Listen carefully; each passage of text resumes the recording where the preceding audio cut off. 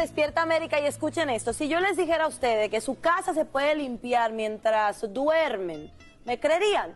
Bueno, eso lo asegura, señores. Julia Alzate, bienvenida, mi reina. Y cuéntanos cómo nosotros podemos hacer esto realidad. Pues lógicamente, eso es el sueño de todas amas de casa, señoras, y de sus esposos también.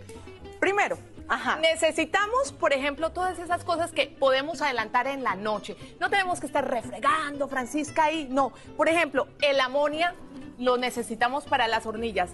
Estas hornillas que ustedes siempre tienen en casa, que se vuelven terribles, simplemente las ponemos en una bolsita plástica. Que todos tenemos una. Siempre y le ponemos tres cuartos de amonia. Lo deja remojando por toda la noche. Mira, le garantizo, señor, que esas hornillas van a ser como nuevas al siguiente día. Simplemente la lava, ya con su jaboncito normal, pero ya todo ese pegado se va a salir. Ahí está, lo deja que vaya ocurriendo la magia. Y entonces las hornillas. Bueno, eso era las eh, hornillas. No digo las ollas, los sartenes. O los sartenes o esto donde uno hace las galletitas de que le quedan siempre pegadas y ya después eso queda tan acumulado ahí. Simplemente le vamos a poner las hojitas estas de la secadora porque esto tienen unos agentes de limpiadores que ustedes lo ponen ahí, la recubren y después agüita caliente encima, lo dejan toda la noche. Esos agentes limpiadores van a hacer que toda esa comida que dura pegada por toda la vida, se va a quitar. Al siguiente día ya le pasa, las quita y así la, como si la esponjita como si nada. Esto, esto es grande porque yo creo que ese es el dolor de cabeza de todas nosotras en la casa. acumulan un montón y ahí se queda toda la comida y después la galleta le va a salir, le va a saber un poco a carne, ¿no? no. Oye, háblame de la ducha.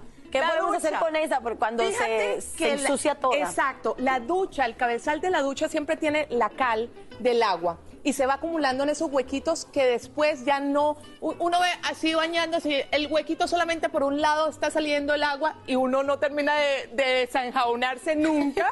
bueno, simplemente un, una bolsa plástica transparente que la consigue gratis en el supermercado. O si no, las que venden, eso. Entonces, el cabezal de la ducha, haga de cuenta, señora, ustedes lo tienen en la casa, el tubo, y le meten una bolsa con lo más importante, y aquí no quiero que tú te me vayas a mojar. No voy a mojar, tranquila el vinagre. El vinagre lo tienen que ver que el cabezal realmente esté recubierto con su vinagre. Lo amarra con una tira. Ajá. o, sea, venga, les digo, esto es, nosotros le estamos recreando lo que usted está poniendo en su casa.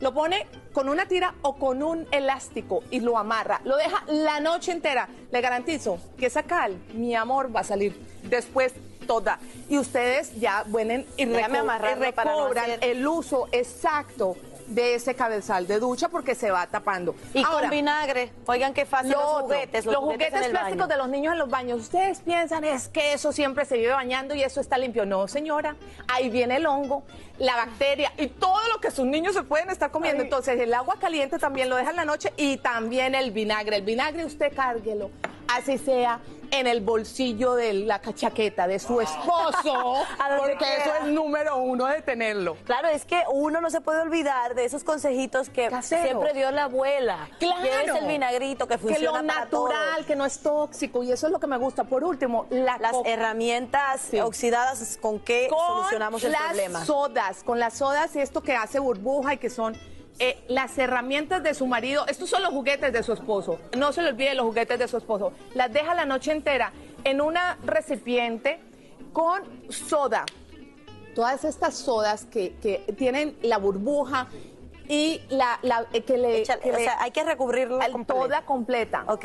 Esto échele al ojo por ciento que se le va a recuperar, porque ellas también se viven oxidando y tú sabes lo que cuesta cada, cada herramientica esta que debe ser de este color. Eso cuesta un montón, ahórrese la plata, mamita, para que ustedes pues, puedan estar comprando. ¿Y este qué hacemos? Es al siguiente día, entonces ya la quitan, la lavan un poquito y la refriegan con un cepillito de estos de cerdas bien duras. Entonces ya ahí le queda como ya.